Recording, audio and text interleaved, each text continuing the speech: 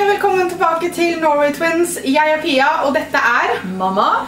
eh, Mamma skal nå være med på Julis siste bloggserievideo, som har vært da glutenfrie oppskrifter. Igjen så har vi hentet oppskriften fra glutenfritt eh, fra Allers. Eh, det her var et helt genialt blad, og vi hadde, jeg tror ikke vi hadde klart å se denne serien her uten det bladet her. Men i dag så skal vi lage vafler. Um, før vi begynner med det, så har mamma et lite tips til dere eh, fra butikken. Ja. Og det oppdaga jeg, for det er noen i barnehagen som må spise sånt. Og så fikk jeg lov til å smake, og det er Vasa knekkebrød, som er gluten og laktosefritt. Og nå var det du som kjøpte, så jeg husker ikke hvor mye det kosta. Eh, rundt 30 kroner, så det var faktisk ikke så det er ganske mange. Det er 275 gram i hvert fall. Det er tynne, små knekkebrød, men veldig gode.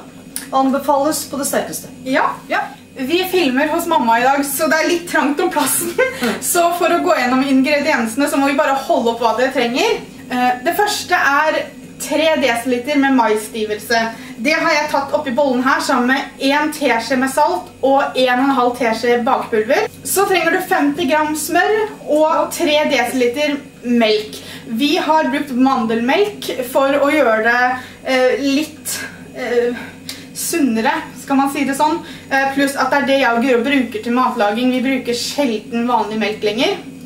Det er nytt for meg. Jeg har aldri brukt mandelmelk i noe som helst, så nå er dette noe nytt. Ja, det er Ja. bra. Til slutt så trenger du også to egg. Smøret skal smeltes, og så skal vi blande alt det tørre i en bolle. Jeg velger å bruke en sånn håndmikser, bare for at det er lett. Ja.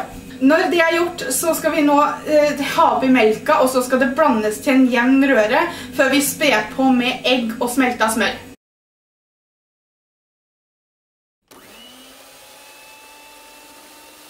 Da har vi oppi smøret, og så skal vi knekke oppi to egg. Vær så god, mamma.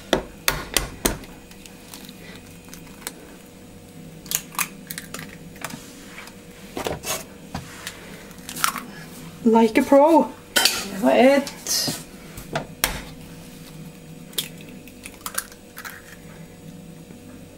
Det var to. Og så blander vi igjen.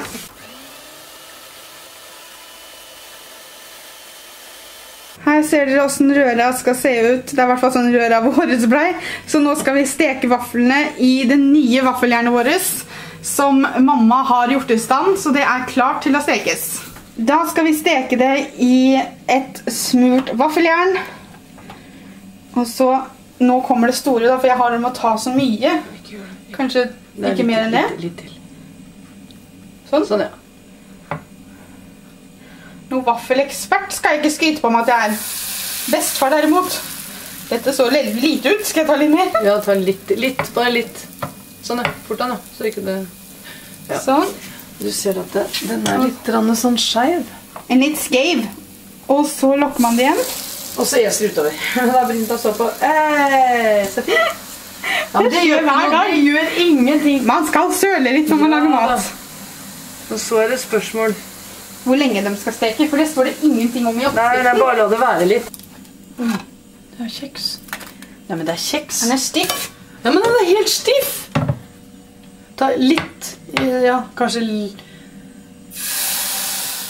Da er det siste plata, og nå har vi stekt mange, men det har vært problemet har vært at det har liksom tytet over på yttersida fordi det har vært så tynn røre. Men så kom vi på noe lurt. Det var at når vi da heller oppi her, sånn, og sprer det litt utover, nå kan vi se litt til. Det som er clouet da, er faktisk, håper jeg det stemmer, å ikke lokke den igjen med en gang, men la den bli varm under, sånn at noe av det flytende blir borte. Da kan det hende at det ikke blir sånn at det flyter så veldig over. Håper jeg. Nå. Skal vi se. Nå ble det litt Det er skjev benk her, vet du. Sånn. Nå lukker jeg igjen. Nå er det nesten borte alt det flytende. Så lukker jeg igjen.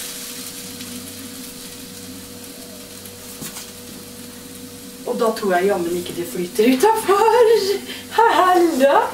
Nei da. Ja, vi, det måtte ti plater til før vi skjønte hvordan vi skulle gjøre det. Men eh, nå skal jeg bare lukke opp og se. Du, hallo? Ja da. Perfekt. Så da har vi skjønt det. Ikke lokke igjen med en gang. lokket. La det få steke litt, sånn at det, det flytende blir borte. Så lokker du igjen, og så flyter det ikke over. Da er vaflene våre ferdig. Vi fikk ti plater ut av den røde her, noe som var helt perfekt. Så når vi da til slutt skjønte hvordan vi skulle steke dem også, så ble jo det her veldig, veldig bra. Helt perfekt. De blir veldig lyse i fargen, men det tror jeg er på grunn av ingrediensene i røra. At jeg tror ikke du kommer til å få den Nei, ikke gyllenbrune fargen. Nei. Eh, men nå skal vi smake, og da tenkte vi at vi skulle ha saltpølse på. Og så skal vi smake på en med ost. Ja. Eh, For det er jo frokostvafler. Og det er også veldig godt med bær til det her. Det sto det i hvert fall i det blad. Men jeg tenker bare vanlig pålegg. Men det er litt morsomt da med matpakker til ungene, Ja. som da ikke tåler. Tenk å få vafler i matpakka. Sunne, gode, med pålegg på. Toppers. Den her kan det til og med hende at det hadde vært kjempegodt å hatt litt revet ost og grilla kylling, og så bre- bretta. Og lage Gud, selvfølgelig. Og så kan du ta den i toastjerne. Ja. Altså, her har du mange muligheter. Løsninger! Men Ja. nå skal vi smake. Da deler vi. Skal vi dele den sånn at vi har igjen hver? Ja, det kan vi gjøre. Det var ikke så enkelt. Sånn. Sånn. Da smaker vi på saltpølsa først. Saltpølsa. Saltpølse først. Mm. Mm. Og nå var det lenge siden jeg har spist saltpølse. Ja, jeg jo. Men den var gode. Det blir jo selvfølgelig mye saltpølsesmak. Unnskyld, jeg snakker med mat i munnen. Altså, Men det er jo fordi at det er jo ikke så fryktelig mye smak nei, i det Nei, det. er ikke nødvendigvis veldig mye smak i vaffelen alene. Nei. Men det er et godt Det er jo veldig godt. Og så Ja. skal vi osten, da. Ost. Helt greit, altså. Ja. Jeg Så kan man ta saltpølse og ost. Da gjør vi sånn. Ja. Saltpølse og ost. Ok. Jeg tror ikke du får lov til å ta med deg det hjem. Nei, men De vaflene her, de blir her. Mhm. Tusen takk for at dere så på. Husk å sende oss et bilde enten på Snapchat eller Instagram eller Facebook eller hvor det måtte være hvis dere prøver å lage de vaflene her. Kom gjerne med forslag til hva dere syns er godt å ha inni. Tusen takk for at dere så på. Tusen takk for at dere var med på denne bloggserien. Det var Cecilie som kom med forslaget, så tusen takk til Cecilie. Vi syns det her var veldig gøy. Det var en litt sånn utfordring til oss selv siden vi ikke er allergiske mot gluten, så er ikke det noe vi tenker på. Nei, men det er, det er fint å Ja, lage likevel. Det er faktisk verdt å prøve. Eh, vi skal få til en laktosefri serie etter hvert, for det har vi også fått forslag om. Men i hvert fall, tusen takk for at dere så på videoen vår i dag. Ha en fortsatt fin søndag, og så snakkes vi. Ha det! Ha det! Og så skal vi helle oppi eh, melk, egg Egg har jeg ikke nevnt. vi trenger egg! Smellet skal Smellet? Smellet skal smulte! Smørte. Nei, ja. ja. Bloopers! Um, små. Mitt kjøkken, mine vafler. Fra nå så blir det bare å filme videoer.